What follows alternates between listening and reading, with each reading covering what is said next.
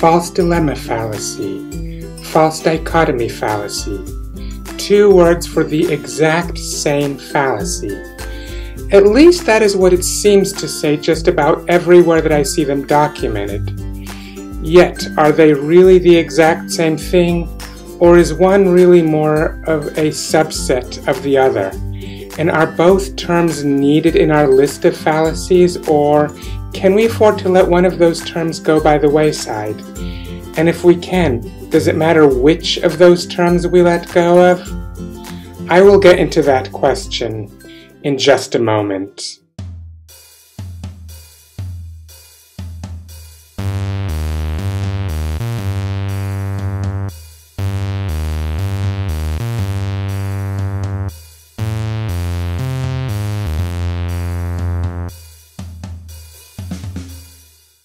Hello, Internet.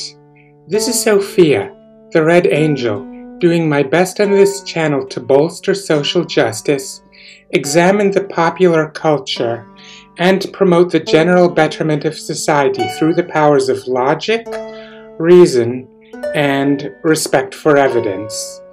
If you like that, then subscribe to this channel, ring the bell, share, and comment.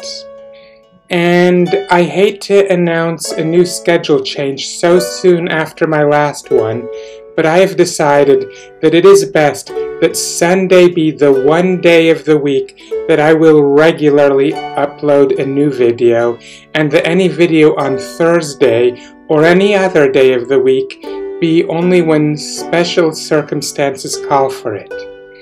This change is the best both for my own self-care and for the long-term health of this channel. Anyway, most of the documentation on fallacies would suggest that the false dilemma and the false dichotomy are just two words for the same fallacy.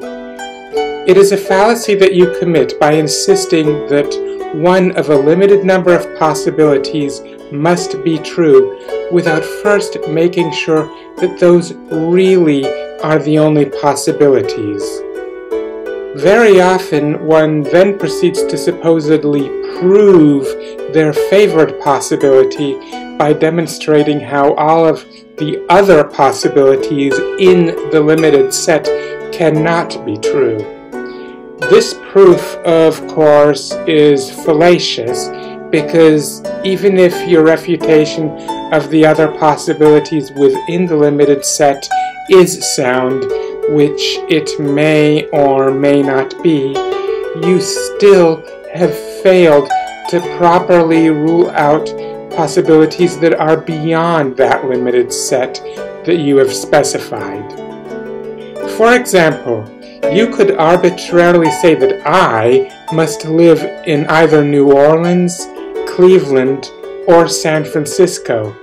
Then, by demonstrating that I live in neither New Orleans nor Cleveland, you might prove that I live in San Francisco. There would only be one problem, though. In reality, I live in Philadelphia, which is not New Orleans and not Cleveland, but also is not San Francisco. Clearly, what is being referred to by these labels is indeed a terrible way of thinking. But are false dilemma and false dichotomy really just two names for exactly the same fallacy? Well, the Merriam-Webster dictionary defines dichotomy as, quote, a division into two, especially mutually exclusive or contradictory groups or entities, unquote. On the other hand, it defines dilemma as, quote, a usually undesirable or unpleasant choice, unquote, or, quote, a problem involving a difficult choice, unquote, or, last but not least, as, quote, an argument presenting two or more equally conclusive alternatives against an opponent, unquote. Granted, I have abridged these lists of definitions by omitting those that are either too redundant or unrelated to what we are discussing. But nonetheless, one key distinction is that the definitions of dichotomy tend to involve giving you two options, no more and no less. Definitions of dilemma, on the other hand, involve multiple options but do not necessarily limit the number to two, and one of the definitions even specifically says that it can be more than two options. For this reason, rather than the two fallacy labels referring to the same fallacy, I submit that false dichotomy is actually a subset of false dilemma. False dilemma would refer to any case in which you prematurely limit the range of possibilities that are under consideration, and false dichotomy would refer only to the cases of false dilemma in which the number of possibilities that you are prematurely limiting things to is the number 2. But do we need both labels in our nomenclature of fallacy identification? Or is one of those labels just needlessly inflating the list of fallacies without contributing anything to justify doing so? And if the latter is the case, does it matter which one we let go of?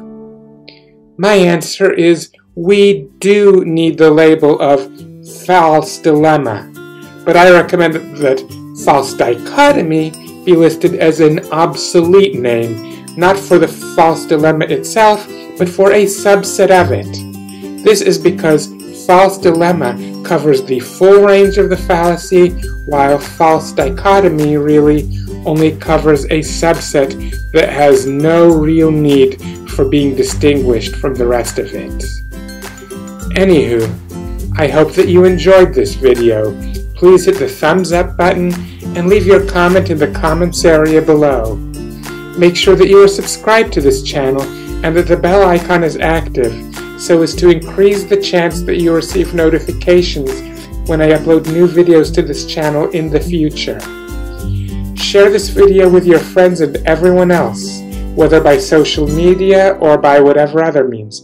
And until next time, see ya!